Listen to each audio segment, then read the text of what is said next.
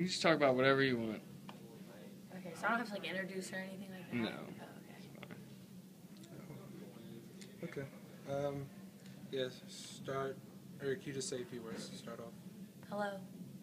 A few words to start off. Yeah, that should work. Hi. You good? All right, give it a clap. All right. Uh, what's some interesting facts about your life? We need a clap. Oh. Yep. All right. Again. Oh, time out. One sec. I just have a question. Does this start flashing when you click record? It's recording right now. Okay, perfect.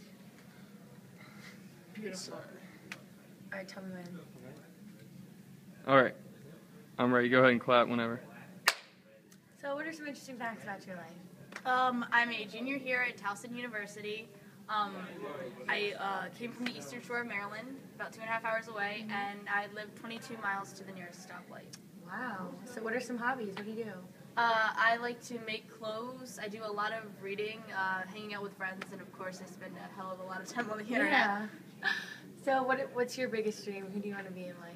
Um, I just really want to work in theater. It doesn't matter what necessarily, anywhere from screenwriting to parts of the production to actually finishing it and putting it on the screen. Wow, that's interesting. So, who's your favorite actor or actress? Um, I don't know. I think my favorite actor has to be Tom Hiddleston, but my favorite actress is Jennifer Lawrence. She's Uh, I love her. She's so pretty. oh my god. One more. Um, what's your favorite movie? Oh my god, favorite movie? Princess Bride, hands down. I love Anne Hathaway. She's awesome. Thank you. Yep, we got.